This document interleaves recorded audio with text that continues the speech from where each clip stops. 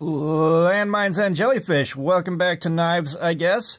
And I have alleviated my confusion with the Flash AT.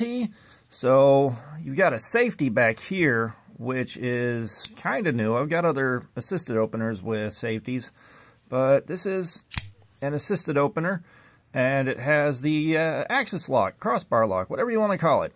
Now, the thing that does get me is it pretty much takes two hands to close, but that's not a deal breaker for me.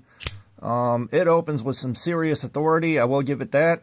And it is a very cool looking deal. Um, it's a large enough blade for me to be happy with that. I just touched my hand with it and this thing is razor sharp.